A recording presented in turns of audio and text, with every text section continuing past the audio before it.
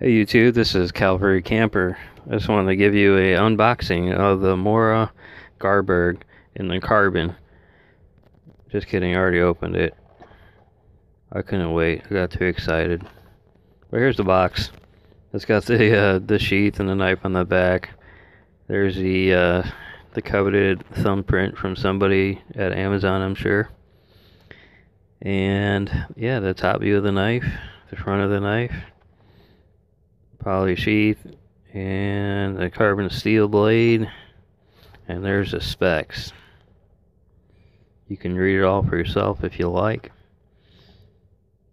Carbon steel 4.3 inches on the blade 9 inches overall point, uh, 13 inches on the thickness 7.4 ounces on the weight. You can use with the fire steel and it's full tang so yeah, I tried looking up the story of the Garberg, the name, but I didn't find anything. I didn't really search very hard. So if you know, you could leave it in the comments below, and I'd like to read that. Uh, it talks about where it's manufactured in Mora, Sweden. Robust knife, Scandi grind. You know, the carbon steel blade. The adventure knife. There's the warning. You know, it's easy to sharpen, but requires more maintenance so make sure you keep it dry and, and clean, and of course, probably oiled. And there's the warnings. And don't let a baby have your Garberg. Okay, there's that. And here's the the Garberg and the sheath. So, yeah, I got this because, well, originally it started out with this this here is a robust. I watched a, a video on that and I fell in love with Moras. Of course, I used to watch Dual Survival back in the day, and Cody Lundin had the Moras all the time, but kind of piqued my interest because I liked his uh, thoughts on everything. But anyways, I watched uh, Dutch um, Bushcraft knives on YouTube. And yeah, I got a video up of this a review on this on my channel and a link to their channel on, on that video. So yeah, the more robust, it is pretty robust. These are supposed to be similar. It's a carbon steel blade as well, just beat up.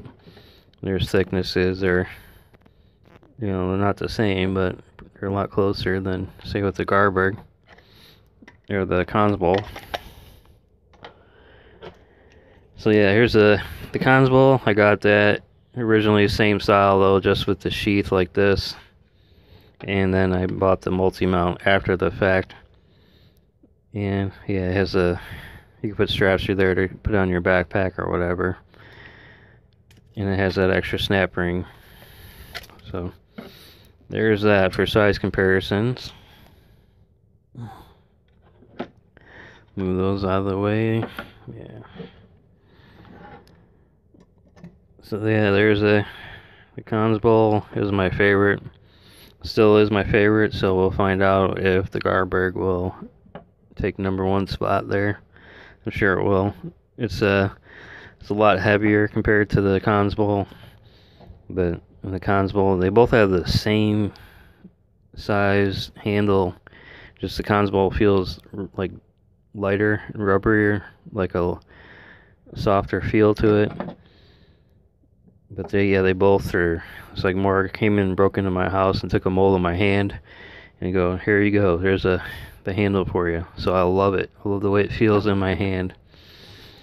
It's just awesome, awesome knife. At least in the Kongsboll. I haven't tried the Garberg out yet. That'll be coming soon. We plan on going camping very shortly. Do the overall here just to give you an idea. I know we already read through it, but the visual. And yeah, there it is. It's pretty sweet. It's got that fat blade. Big fan of some heavy duty knives, so you're not going to have to worry about breaking easily. Let's see how this holds up. Should be a great camp knife bush bushcraft knife that everybody uses it for already anyway, right? So yeah, it's just a little short short video on the unboxing and the uh, first impressions, I guess you would say. I think this one I got it for 77. I bought the cheapest one with which is is just this, the poly sheath and the belt loop. Next would be what the you know like the uh, the multi mount, and then I think the highest price one was the the leather sheath, which looks pretty cool. I wouldn't mind that, but I just couldn't shell out the extra money for that. Might get a different sheath option in the future. We'll see how how that looks, but they seem pretty expensive as well, so we might just roll with it and see how this goes.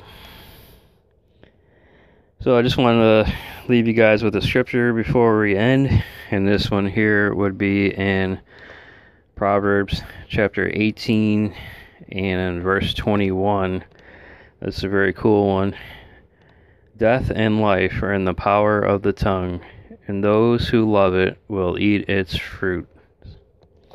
So the choice is yours. It's all up in for you to voice it, you know. Are you going to walk with the Lord? Are you going to choose life with Jesus Christ or are you going to choose death? So, so that's all in your hands, not anyone else's. It's only in your hands. So I encourage you guys to walk with the Lord. If you're not, check Him out. Read the Bible, read your Word, listen to some pastors, you know, talk to some other Christians, find out some more. You know, grow with the Lord. We can do both. We can do this camping stuff, you know, and the knife reviews and still walk with the Lord. It's all possible. So there you go, guys. I just want you guys to stay blessed. Like and subscribe. Continue to look forward to new videos, more reviews. Um, definitely planning on getting some camping videos in this year for sure. And if I can afford it, some more gear reviews, maybe some more nice if I can talk my wife into it. but we'll see. It's uh the money's not always there, but definitely can have a lot of time for testing these guys out and seeing which ones work the best. So be blessed guys and thanks.